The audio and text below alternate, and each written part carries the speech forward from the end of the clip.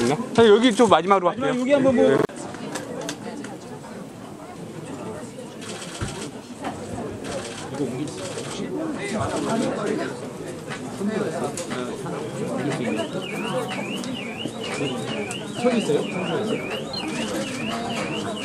이번에 이제 지플렉스2 같은 경우에는 CES 식관왕을 받은 제품으로서 소비자의 니즈에 맞춰서 더 가볍고 더 날씬해진 이런 대화면에 5.5인치 화면에 나온 제품이라고 보시면 되시고요.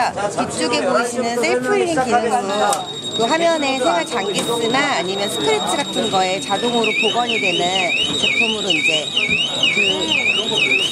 새 항상 새 휴대폰처럼 사용하실 수 있는 장점이 있습니다. 그리고 화면에 화면을 굳이 터치하거나 이렇게 잠금을 풀어가지고 부재중 전화 문자를 확인하지 않으셔도 Glance View라고 해가지고 화면을 이렇게 내리시면은 시간이나 부재중 전화 문자 메시지 같은 것도 바로 확인 가능하시고요.